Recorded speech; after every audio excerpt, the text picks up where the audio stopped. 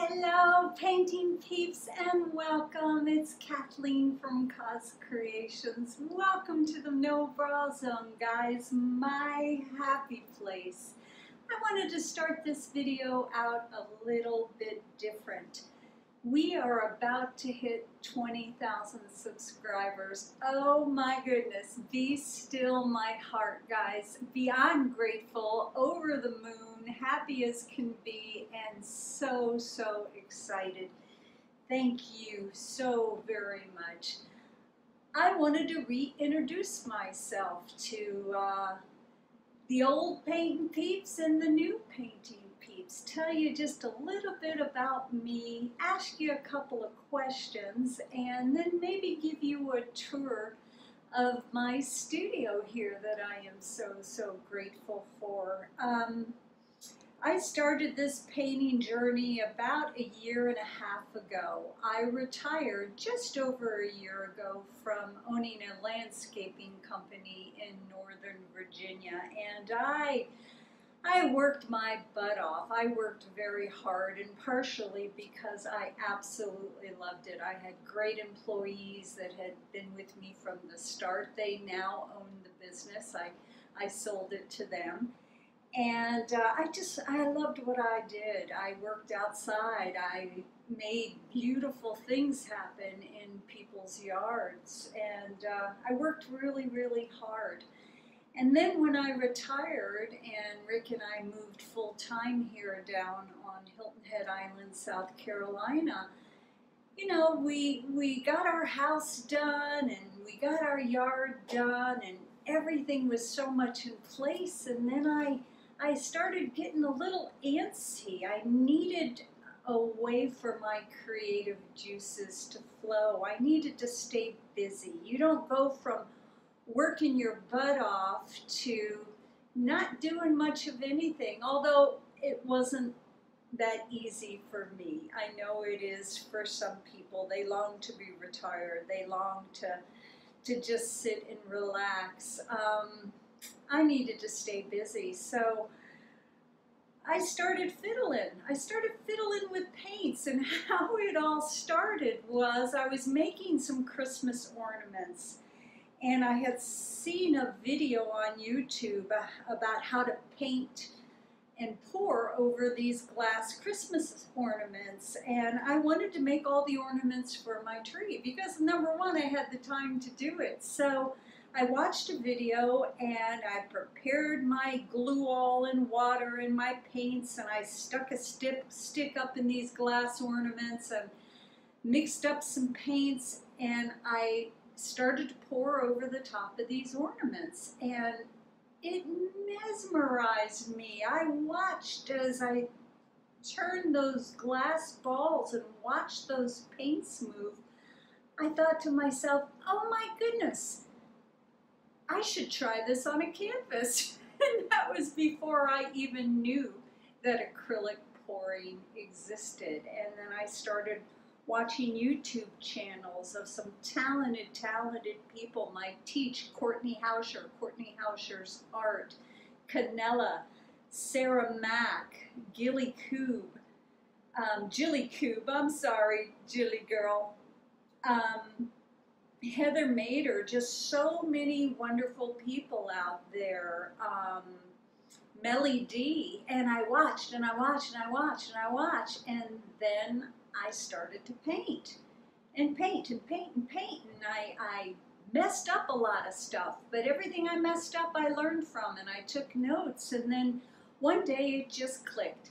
And then uh, I started posting some things on Facebook and people started to pay attention. And I thought to myself, you know, this is pretty cool. And then somebody dared me to post um, a video on my on a YouTube channel. And the reason I had videos is because I would videotape myself painting so that I could go back and reference it and remember what I did and and watch for my mistakes and, and just learn from my own videos. So um, um, I reached out to Heather Mader from Heather Mader's Art, and she was gracious enough to help me learn how to edit my videos. She actually edited my, my first video. So that's kind of how it started. And I still videotape. I videotape for me, but then I share it with you. I'm paying it forward. I'm showing and and teaching you the things that I have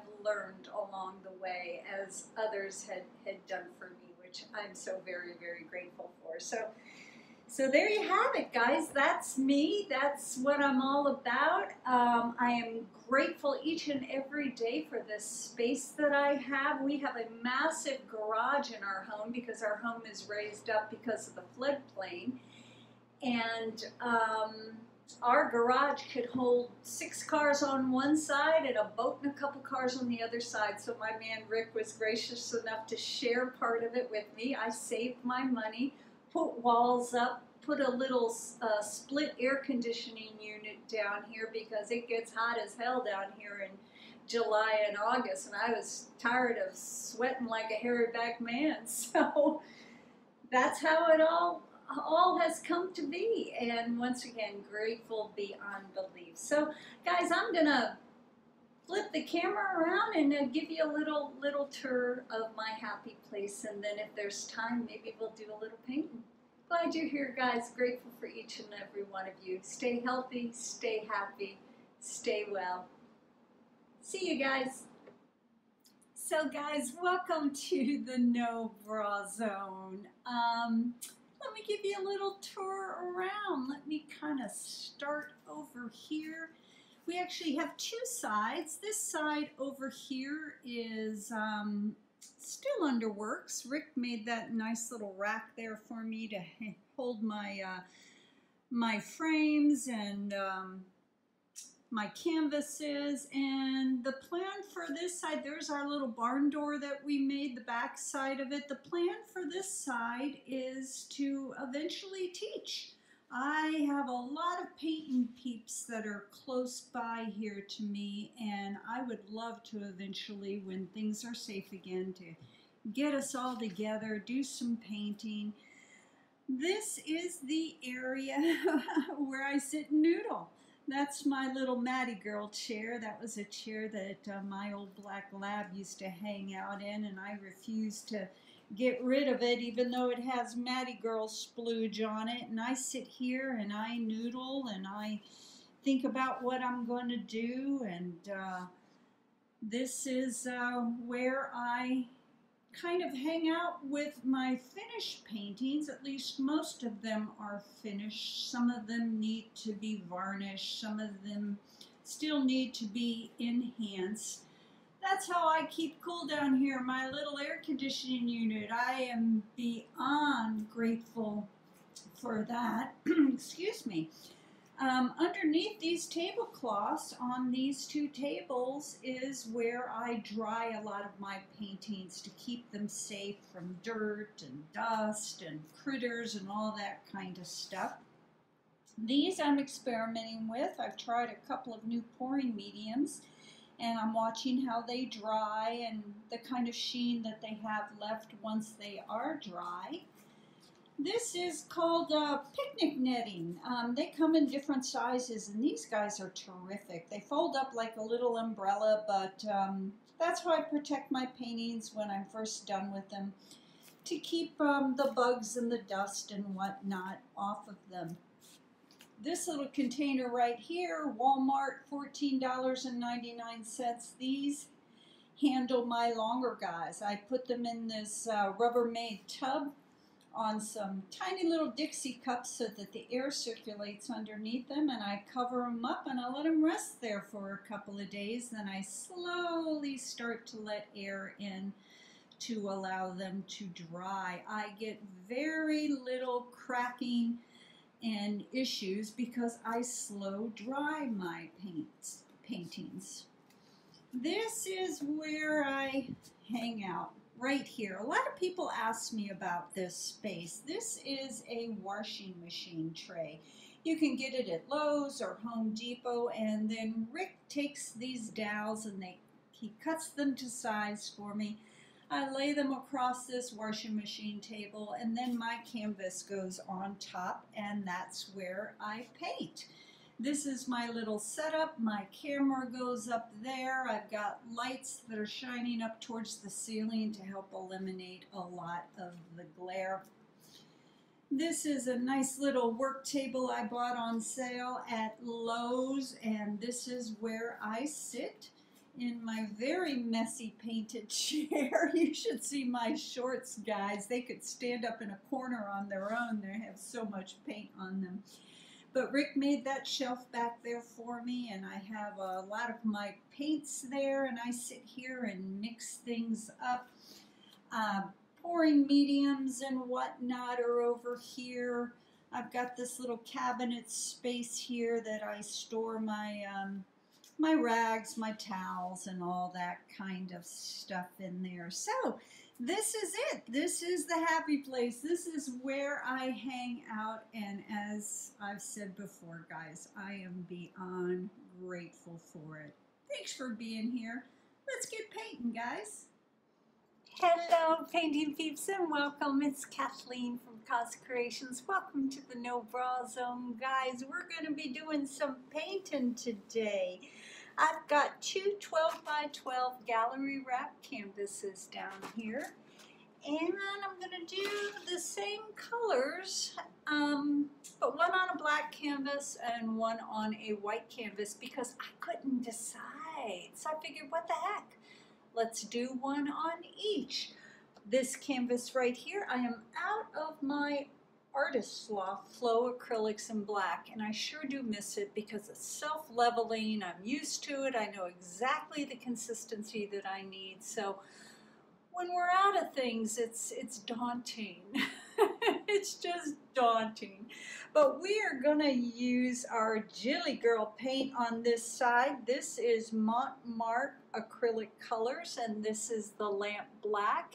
And this is a very good value, guys. Um, it's not super expensive. It's just extremely thick. And when you pour it in the cup, it goes plop, plop and I needed to, to add a bit of water to it and water makes me nervous. I'm afraid I'm going to put too much in and break down the binders and whatnot. But I had to add a, a bit of water, a few squeezes, to get it to the nice consistency that I want, where when the paint flows off the popsicle stick, it leaves just a very subtle mound in the paint below. So we are about one part paint to two and a half parts pouring medium on this guy and a few squirts of water in each cup.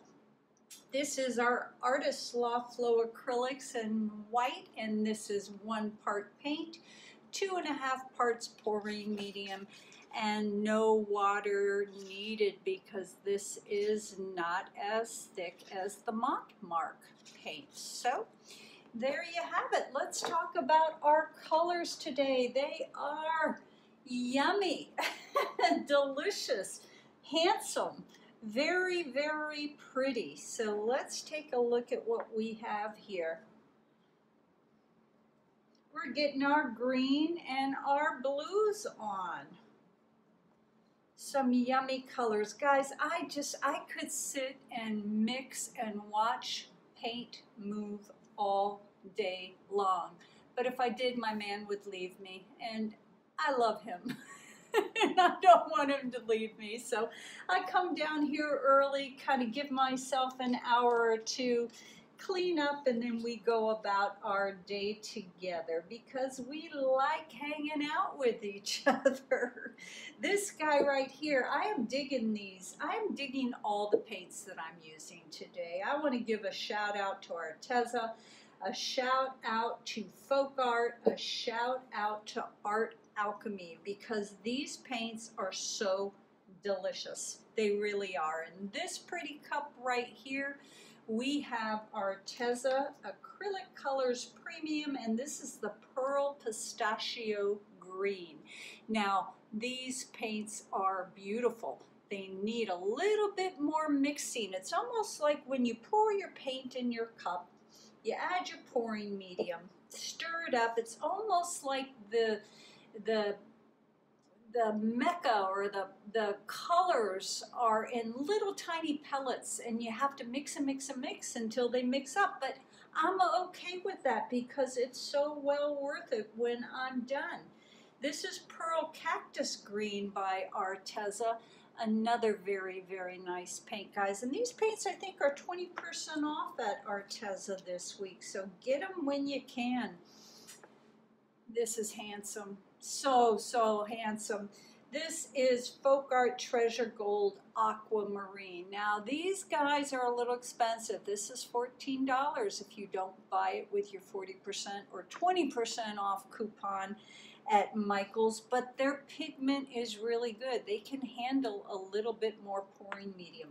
Although I did put just two and a half parts PM in all of these paints, so I don't confuse you guys.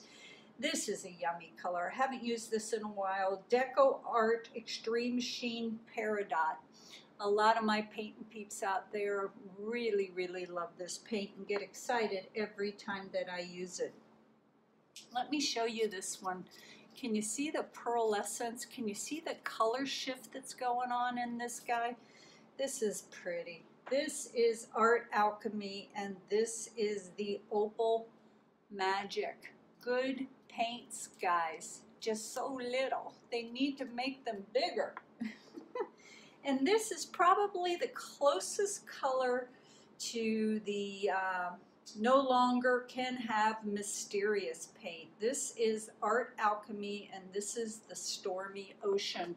And when I mix this and put it alongside the mysterious that Gail from Life and Splatter sent me, it is so close. This one looks like it has just a little bit more pearl essence in it, and I'm okay with that, guys. Our final color today, in case we decide to do some swiping, is Amsterdam Titanium White. Now, a lot of people have asked me about this. Oh, that Amsterdam is supposed to produce lots of cells and this and that. Well, it does, and it does tremendously well if you have the Australian Floetrol. And I do not. Um, but when you mix the Amsterdam Titanium White with the Australian Floetrol, it produces glorious lacing if that's what you're looking for. There's something about mixing that with the Australian Floetrol that makes magic happen.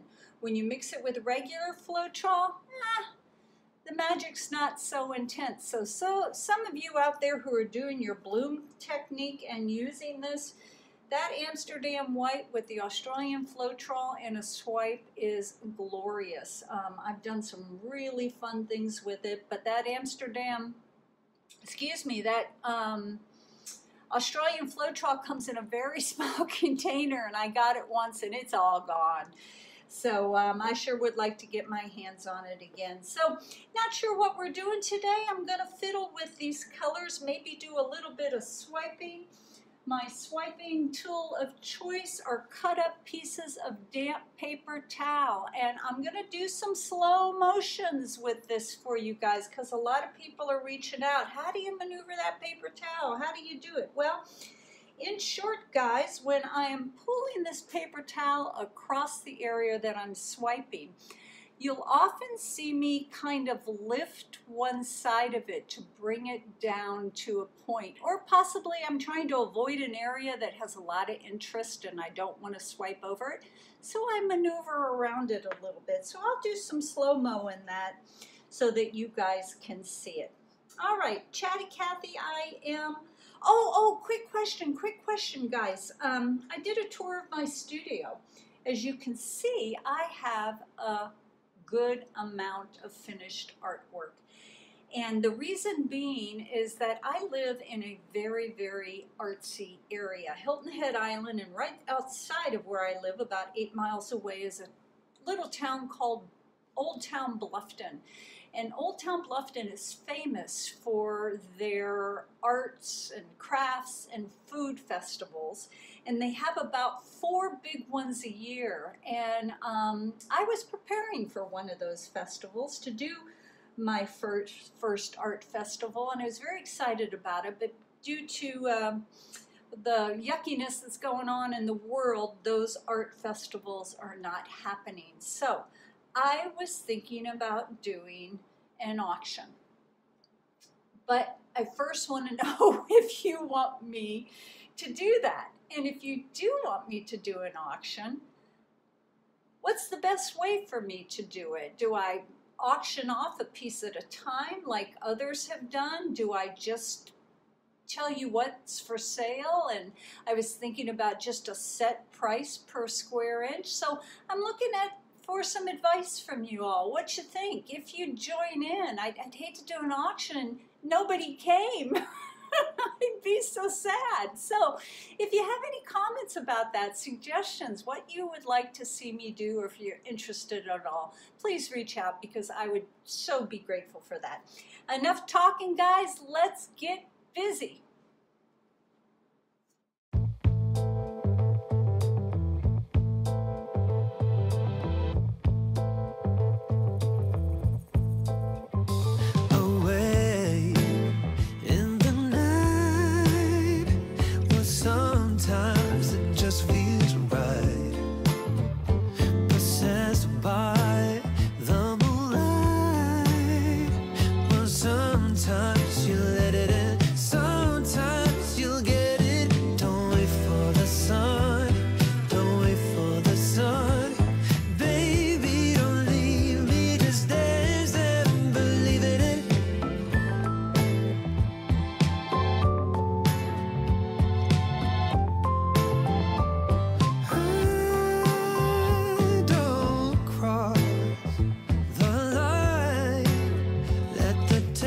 In the crowd. Just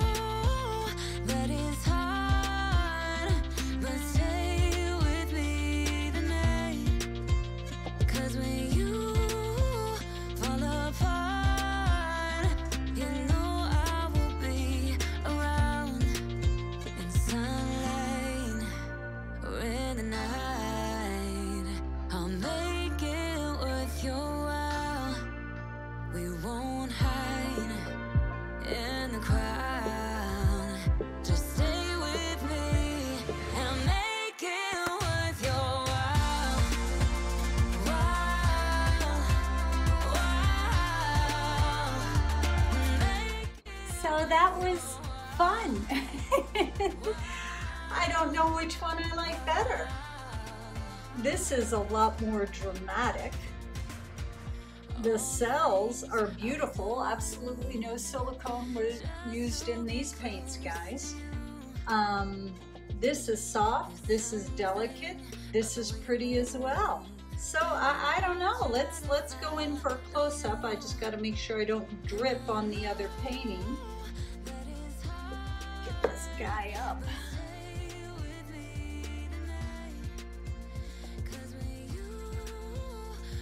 That's pretty, guys.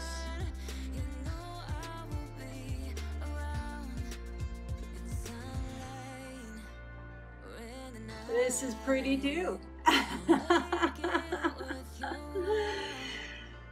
that was cool. That was fun. Black versus white. You guys let me know what you think. And if you have time to hang out, I've got some beautiful leftover paints here. I think I'll do a ring pour and maybe a ring pour with an additional swipe. So uh, hang tight if you guys like. Thanks for being here.